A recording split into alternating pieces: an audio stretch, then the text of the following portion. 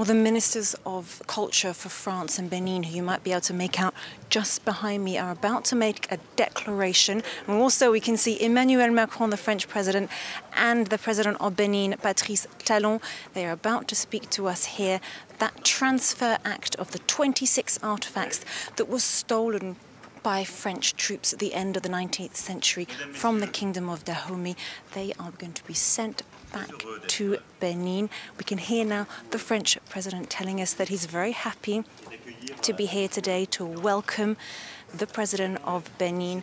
Emmanuel Macron has been very clear. He's insisted for a long time that he wants these artifacts to be accessible for the people of Benin, particularly young people.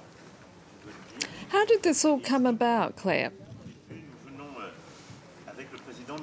Well, I can hear now Emmanuel Macron telling us that this is an historic and also an emotional moment because he said four years ago to a group of students in Burkina Faso, six months after he was elected French president, that it was not okay, that he couldn't accept the fact that so many African cultural artifacts were in France and that they should be back home so the people of Benin, but also other African countries who have made requests for restitution of their heritage, be in the country where they belong in order for the people to have access to them and to be able to learn about their own cultural heritage. And Emmanuel Macron has also said clearly that this is the right path, and he believes that hopefully more paths like this will be opened up.